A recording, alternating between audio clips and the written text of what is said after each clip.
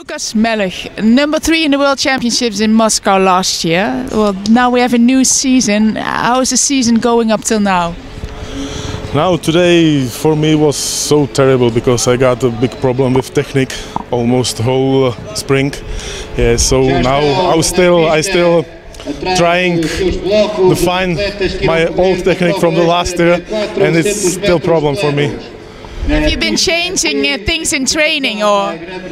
Almost nothing. I forgot. I forgot my last technique, and now I don't know why, but it's real. Because looking at last year, winning your first major medal in the World Championships must have been a great year. But now season's just starting. eh, It's my second competition, and now it was only for four attempts, so it's so short competition, and we will see next. It was now a 72-46. Yeah, 74. Yeah, yeah, 72, 46.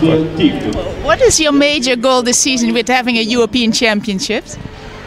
Uh, I think till till eighth position in, in European in Zurich. So we will see. It's next two months for preparing. So I hope so. It will be better.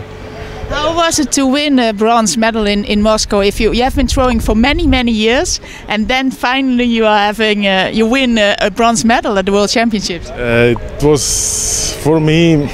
I don't know how to say because I trying to reach medal almost 18 years.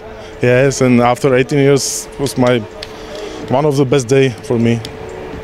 And now, what, what what kind of extra motivation did it give you now for the rest of your athletic career?